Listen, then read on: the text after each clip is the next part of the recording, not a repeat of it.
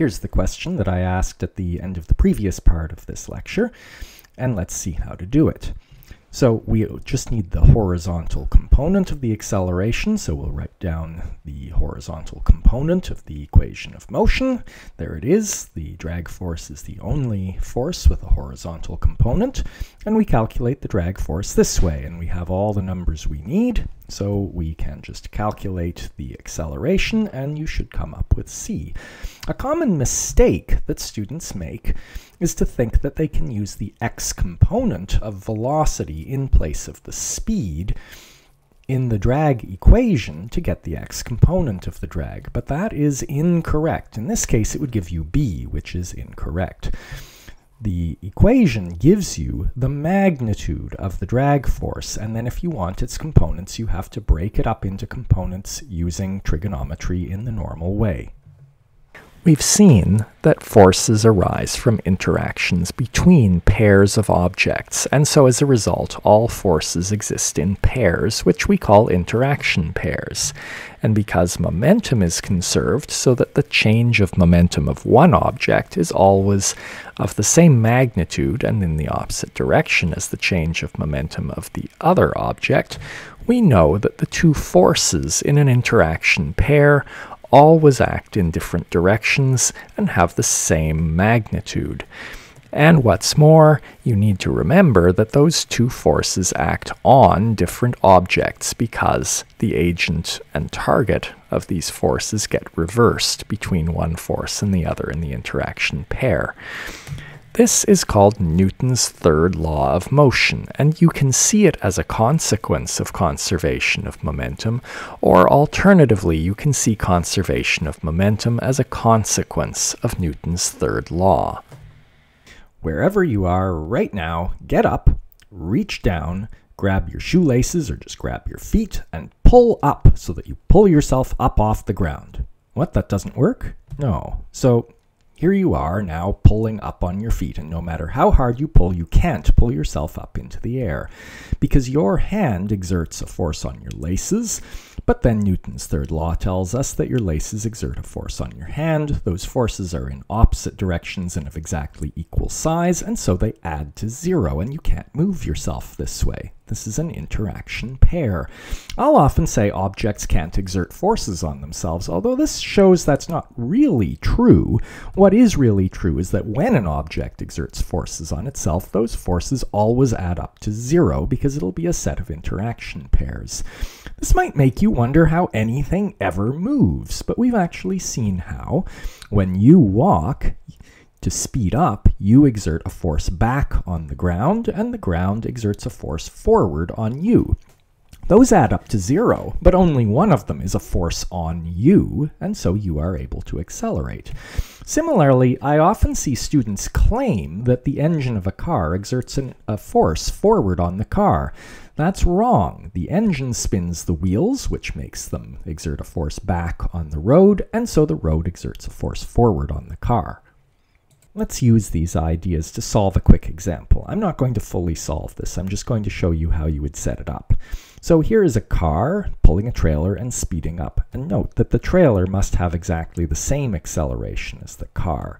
Here are their free body diagrams, and let me draw your attention to that static friction force by the ground on the car that I was just talking about. And the car exerts a force forward on the trailer, and the trailer pulls back on the car. And so if we were engineers analyzing this, we might ask for a particular acceleration, what would all these forces be so that we can know how strong we need to design this hitch. So here are the equations of motion.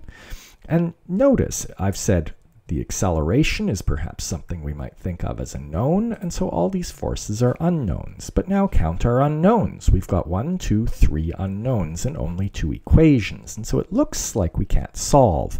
But Newton's third law comes to our rescue, because this is an interaction pair.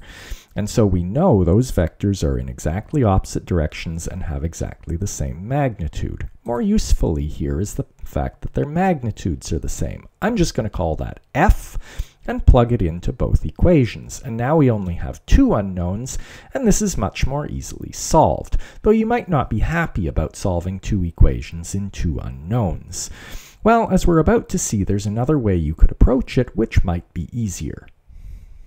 Let's think of a system of objects interacting with each other via some forces, but not interacting with anything else. So notice this is an isolated system, and we can think of the rate of change of its momentum, which is just the sum of the rates of changes of the momentums of each object.